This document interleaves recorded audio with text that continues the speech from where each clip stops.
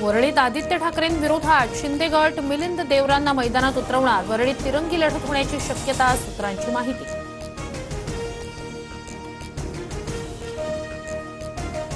वरळीत शिंदेंनी उभं राहावं किंवा जय शहांना उभं करावं इतर जागांवरही शिंदेंकडे उमेदवार नसतील तर दिल्लीवरून आणावे. देवरांच्या उमेदवारीच्या चर्चांवर संजय राऊतांचा टोला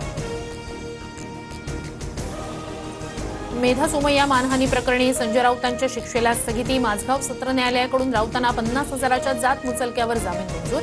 पुढील सुनावणी एकतीस जानेवारी दोन हजार पंचवीसला होणार. भाजप नेते सुधीर मुनगंटीवार दिल्लीत अमित शहांच्या भेटीला किशोर जोरगेवार यांचा भाजप प्रवेश रोखण्यासाठी मुनगंटीवारांचे प्रयत्न. चंद्रपूर आणि सोलापूर शहर मध्य जागेबाबत शहांशी चर्चा करणार. प्रस्थापित लोकांचा माझ्या उमेदवारीला विरोध. निष्ठावंतांची व्याख्या नव्यानं ठरवावी लागेल जोरगेवार यांचं मुनगंटीवारांना प्रत्युत्तर.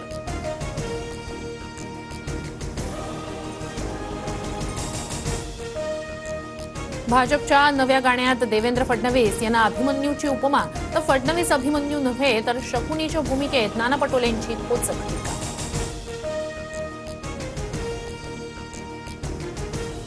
पटोले माझे मित्र आहेत नाहीतर ते कुठल्या सर्कसमध्ये आहेत ते सांगितलं असतं. पटोलेंच्या टीकेनंतर फडणवीसांचा चिमटा.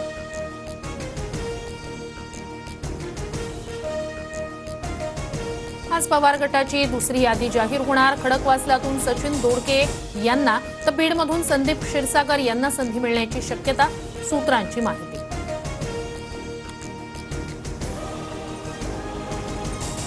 अजित पवारांच्या राष्ट्रवादीत आज चौघांचा पक्षप्रवेश.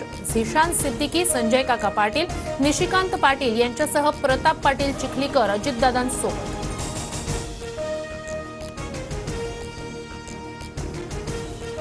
दिल्लीत महायुतीच्या नेत्यांची शहांसोबत सकारात्मक चर्चा. आज मुंबईत अंतिम चर्चेची शक्यता चर्चेनंतर जागा वाटपाचा अंतिम फॉर्म्युला निश्चित होण्याचा अंदाज.